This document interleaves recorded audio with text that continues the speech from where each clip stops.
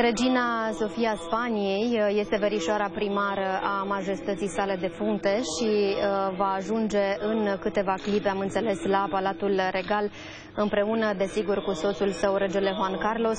Aș vrea să mergem mai întâi la colega mea, Diana Dumitrașcu. Este acolo, Diana?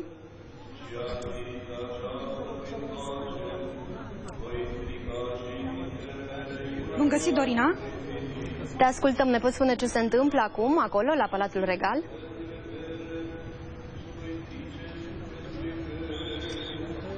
Da, în acest moment, din ceea ce vedem noi, polițiștii de la rutieră încearcă să dirigeze aici traficul și să degajeze calea Victoriei. Cel mai probabil va sosi o coloană oficială aici. Rămâne de văzut informația pe care o avem noi în acest moment este că regina Sofia a Spaniei împreună cu regele Juan Carlos al Spaniei vor veni aici la Palatul Regal din București. Cel puțin așa ni s-a transmis, trebuia să fie ora 8, iată că e trecut de ora 8 și se întârzie puțin, însă nouă ne dau aceste semnale polițiștii de la rutieră care uh, degajează aici traficul. Cu siguranță coloana oficială este pe drum. Așteptăm să vedem și noi și era de așteptat ca Regina Sofia să vină aici la Palatul Regal din București să-i aducă un ultim omagiu regelui Mihai și să facă o plecăciune în fața catafalcului, de asemenea să-și prezinte omagiile în fața membrilor familiei regale. A trecut o coloană destul de consistentă de mașini, erau foarte multe mașini cu girofar care s-a dus mai departe către piața universității. Acum este foarte probabil posibil ca aceast, cei care erau în aceste mașini să intre și pe spatele palatului, probabil pe o intrare lăturalnică. Nu este exclus acest lucru, având în vedere că aici, în fața Palatului Regal, sunt foarte, foarte mulți oameni și probabil le-ar fi fost destul de greu să intre printre acești oameni și să ajungă la căpătâiul majestății sale regelui Mihai. Știm cu toții ce legături strânse există între Casa Regală a Spaniei și uh, Casa Regală a României, Regina Sofia a Spaniei spunea întotdeauna despre regele Mihai că este vărul ei preferat.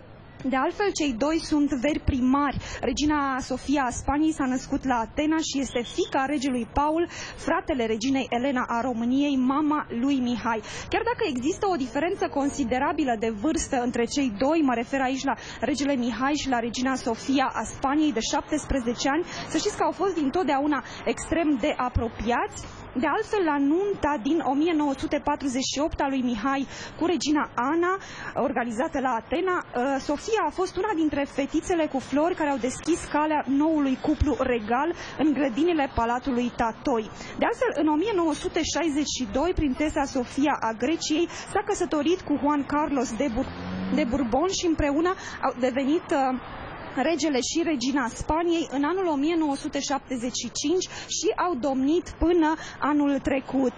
Lua sfârșit astfel un exil triplu pentru noul cuplu regal de la Madrid, din păcate nu și pentru suveranul României, care știm cu toții că aproape 5 decenii le-a petrecut în exil. Toate aceste experiențe pe care le-au trăit împreună și a fost un destin aproape tras la indigo, uh, i-a apropiat și mai mult pe regele Mihai și pe regina Sofia. Spunea regele Mihai că deși deși ne vedem foarte puțin, ne apropie nu numai gradul de rudenie, ci și destinul istoric și regina Sofia știe ce este exilul. Era un interviu acordat de majestatea sa, regele Mihai, în anul 2011.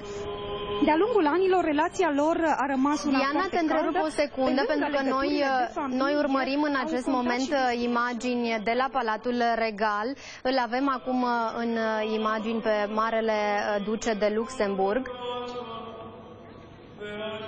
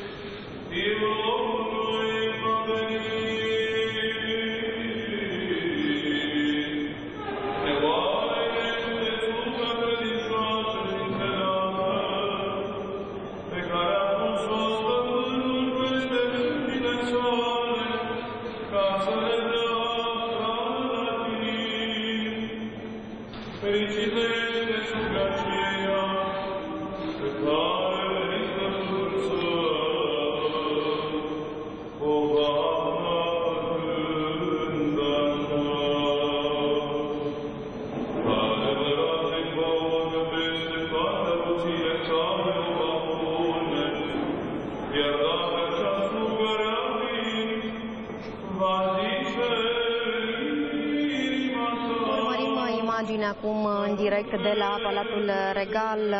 În urmă cu doar câteva clipe l-am putut vedea pe Marele Duce de Luxemburg, de asemenea pe uh, majestatea sa Margareta, uh, pe principele Radu, pe principesele uh, și membrii familiei uh, regale care sunt acolo la catafalcul majestății sale. Uh, în câteva clipe am înțeles că uh, sunt așteptați de altfel în această seară la Palatul Regal și regina Sofia Spaniei și uh, soțul său, regele Juan Carlos.